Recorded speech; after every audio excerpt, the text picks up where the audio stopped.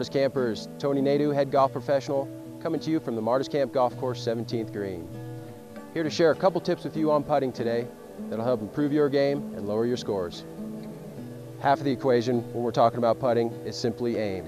Where is our club face pointed at the moment of impact? We've set up a simple drill here from a place just below the golf hole with a straight putt where we don't have to focus about speed at all. Ultimately, we're just focused on where our club face is pointed. If we can set up with a club face pointed at the target, make a simple swing, follow through right towards our target, we have a really good chance of making that putt.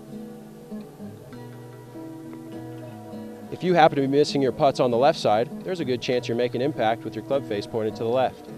If you happen to be missing some of your putts on the right side, there's a good chance your club face is pointed to the right.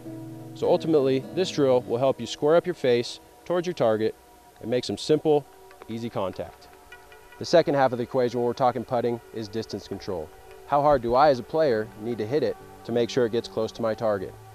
We've set up a drill here with tees at 3, 6, 9, and 12 feet apart. You can go back as far as you'd like to focus on this drill. But ultimately in this drill, we're trying to reference a certain point where we can get comfortable hitting certain speeds. At 3 feet, it's pretty simple to make this putting stroke.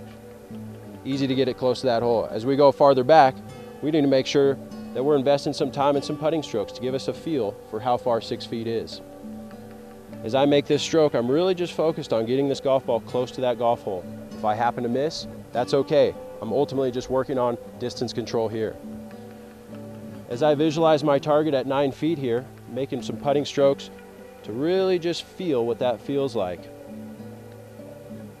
As I make those swings, they hopefully go in, but if they don't, I hopefully leave them close enough to guarantee I can make that next putt. In distance control, that's what we're working on.